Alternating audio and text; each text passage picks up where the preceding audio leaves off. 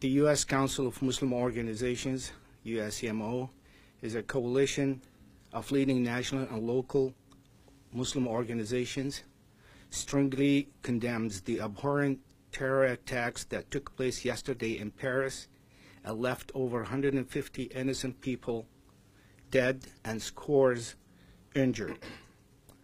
The U.S. Council of Muslim Organizations stands consistent with its position against all forms of violence against innocent people anywhere, from Turkey to Beirut to Syria to Paris and on our soil, irrespective of the perpetrators, targets, or reasons.